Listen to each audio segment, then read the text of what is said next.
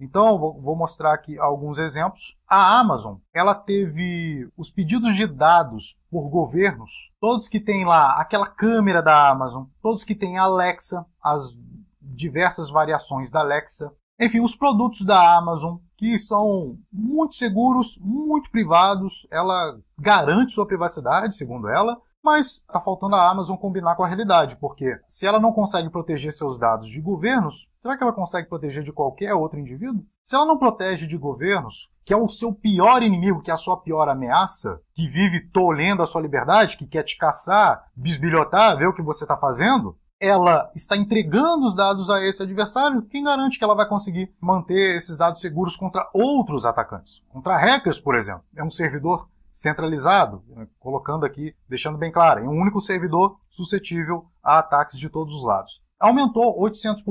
800% de aumento pedido de dados à Amazon.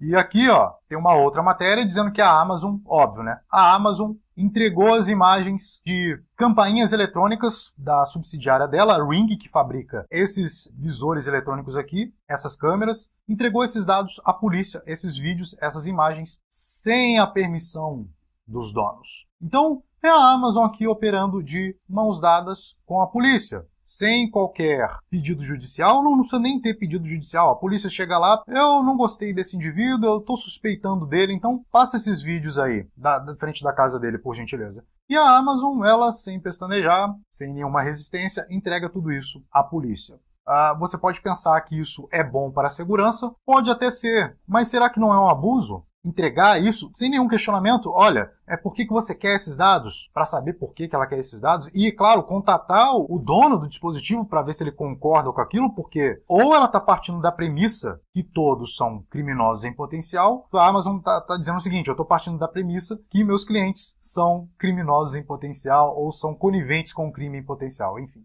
Pedidos de autoridades brasileiras por dados do Facebook disparam 72% em 2021. Então, para você que acessa o Facebook, agora a Meta e as suas empresas, Instagram, o próprio Facebook, a rede social e o WhatsApp, bom, saiba que autoridades brasileiras, lê-se aqui talvez polícia, juízes, é, o pedido disparou em 72%, que já deveria ser alto, né? Então, é um abuso total. E eu, assim, pelo menos eu, eu não tenho conta no Facebook, mas se eu tivesse conta no Facebook, eu estaria preocupado nesse momento aqui com a minha privacidade sendo invadida, com meus dados sendo coletados por sei lá quais autoridades. Que autoridades que estão querendo isso? E se forem políticos de um lado do espectro político? Se forem políticos de uma ala ao qual eu sou contra ou eu não gosto das ideias no Facebook, por exemplo. E aqui, tornou-se até lucrativo essa questão de envio de dados a governos, né? Para você ver, o Google começa a cobrar para entregar dados de usuários a governos. E aqui fala os valores, ó. As autoridades terão que pagar à empresa 45 dólares por intimação, 60 dólares por ordem de escuta.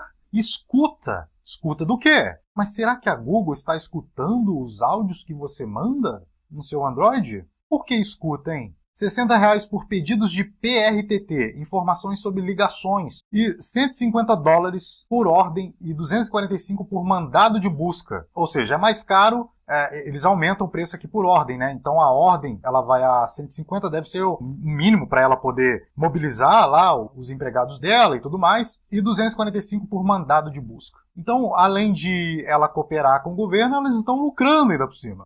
É tão esquisito que até a Rússia ela mutou a Apple e Zoom. Zoom é um aplicativo de videoconferência muito utilizado. Inclusive, ele foi comprado por um grupo chinês, então o Zoom ele é controlado por chineses. São multados na Rússia por violação em armazenamento de dados. Tá tão estranho, tá tão ruim que até a Rússia está multando essas empresas por armazenamento de dados. E por fim, Brasil é o sexto país isso daqui é de 2022, tá? É desse ano, do início deste ano, um levantamento onde o Brasil foi colocado como sexto país com mais vazamento de dados no planeta. Brasil, o sexto país com mais vazamento de dados no planeta. Aponta levantamento da Surfshark.